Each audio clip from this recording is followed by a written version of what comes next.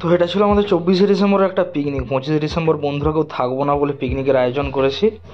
তো আমরা বেশিজন ছিলাম না, সাত আটজন ছিলাম আর আমাদের শিবু ভাই যে এই হাঁড়িটা চাপিয়েছে ওনার হচ্ছে ওই দিন জন্মদিন ছিল, তো সে কারণেই আরও ওনার ছেড়ে আমাদের মাংস খাওয়ার ব্যাপারটা ছিল। তো আমি বসে গেছি আলু কাটতে, আর ও পাশে ভাত বসে গেছে, পল্টু আর শিবু ভাই মোটামুটি ভাত রান্না করতে ব্যস্ত, আর এই যে লাইট এই লাইটটার একটা বৈশিষ্ট্য আছে, পেছনে হাত দিয়ে রাখলে তবেই জ্বলে, না হলে জ্বলে না। আর আমাদের এই অল্প কয়েকজন ছিলাম, সাত আটজন তো সব কিছু নিয়ে মোটামুটি ফাঁকা মাঠে শীতের মধ্যে বসে গেছি রাত্রেবেলায় পিকনিক করতে। তো তোমরা কে কে পিকনিক করেছ অবশ্যই কমেন্ট করে আমাকে জানাবে।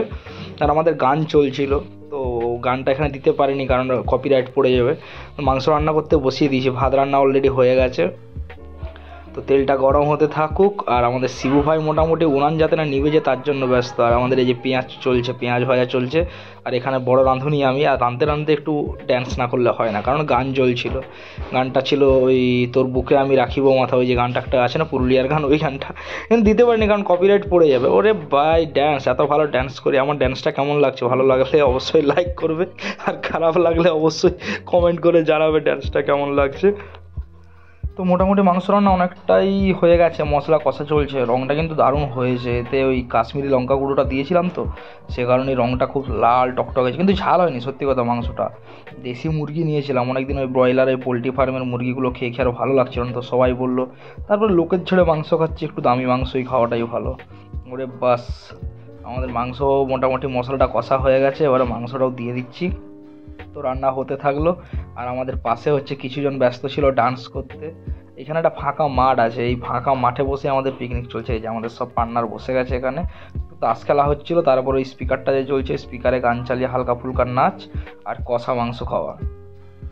তো আর আমার বেসিক্যালি হচ্ছে রান্না করতে খুব ভালো লাগে। তো পিকনিক টিকনিক যাই হোক বা যেখানেই যাই হোক, আমি মোটামুটি রান্না করি। আমাদের বন্ধুদের মধ্যে আমি নাকি সব থেকে ভালো রান্না করতে পারি। তো ঠিক আছে, একবার সত্যি কথা বলতে চিলি সরি চিলি পনির রান্না করেছিলাম, কেউ খেতে পারে না আর আমাদের দুজন অতিথি অলরেডি হাজির। এনারা একটু পরে খাওয়ার পাবেন, আমরা খেয়ে নিই, তারপরে এরা মোটামুটি খাওয়ার পাবে, সেটা নিয়ে কোনো ব্যবস্থা নেই। তো আমরা রান্নাটা হয়ে যেতে যেতে আমরা কী করলাম, এপাশে বন্ধুর জন্য যে জন্মদিনের কেকের ব্যবস্থাটা করেছিলাম, তো সেইটা নিয়ে একটু বসে গেলাম।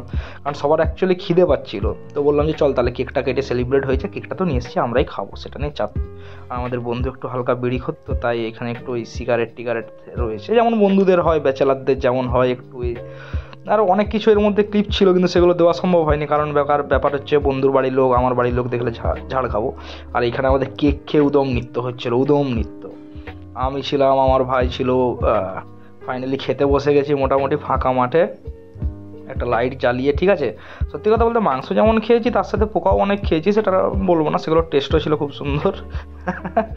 আর এই যে ভাত হয়ে তনু ভাইয়ের ভাতটা দেখো, আমরা দুজন মিলে যে ভাতটা নিয়েছি, আমার তনু ভাই হচ্ছে ওই ভাতটা একা খায়।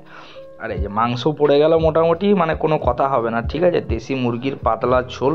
তো দেশি মুরগি খেতে কে কেউ ভালোবাসো, অবশ্যই কমেন্ট করে জানিও, আর পঁচিশে ডিসেম্বর সবার কেমন কাটলো অবশ্যই জানিও। আর সবাইকে জানাই আগাম ইংরেজি নতুন বর্ষের প্রীতি শুভেচ্ছা ও আন্তরিক অভিনন্দন। ব্লগগুলি দেখতে থাকো, পেজে নতুন হলে অবশ্যই সাবস্ক্রাইব করো, পাশে দেওয়া ঘণ্টা আইকনটি প্রেস করো, এবং ধন্যবাদ।